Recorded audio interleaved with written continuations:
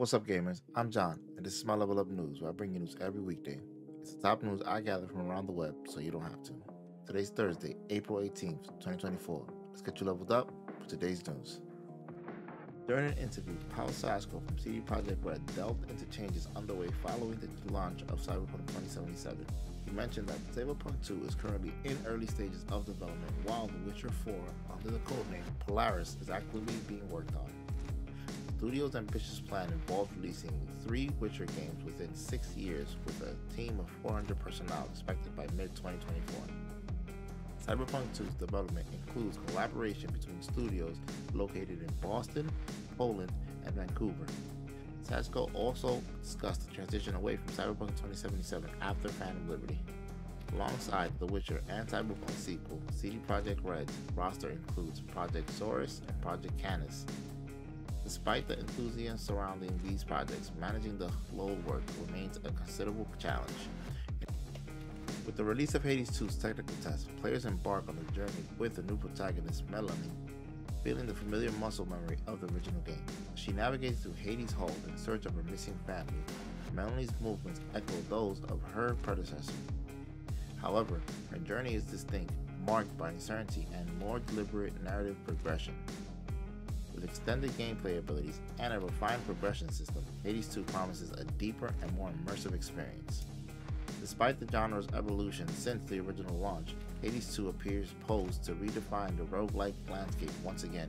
No Rest for the Wicked, a highly anticipated ARPG from the creators of Ori and the Blind Forest, launches into early access on Steam today, offering players a glimpse into its expansive world. While initially exclusive to Steam, the game is slated for release on Xbox Series X and S and PlayStation 5 in the future. Described as the studio's most ambitious project yet, the game promises a wide array of systems, features, and narratives, with plans for continuous development based on player feedback.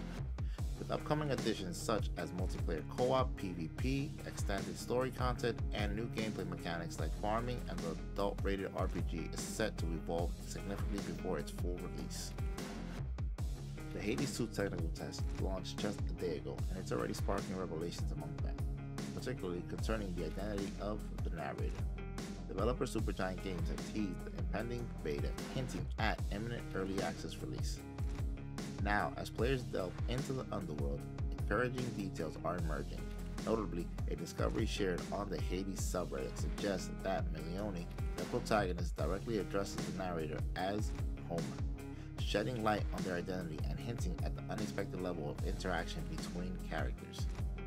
This revelation, drawing from the Greek mythology, has sparked varied reactions from fans, with some anticipating it and others caught off guard. As excitement builds for Hades 2, Supergiant Games continues to impress surprising fans with unexpected reveals and maintaining a high level of engagement with the community. Helldivers 2 popularity remains high, but recent demands from players have called the developer Arrowhead to prioritize game bugs over new content. A task the studio acknowledges isn't straightforward. Despite the game's focus on battling bugs, Arrowhead has been consistently delivering new content since launch, but a long list of known issues persists. Responding to requests for more focus on bug fixing, a community manager highlighted the challenge of balancing content update with technical improvements. And with that bundle of gaming news, I hope you got enough experience points to level up your gaming knowledge today. Make sure you like, share, subscribe, and don't forget to hit that little bell notification so you don't miss any new videos coming out.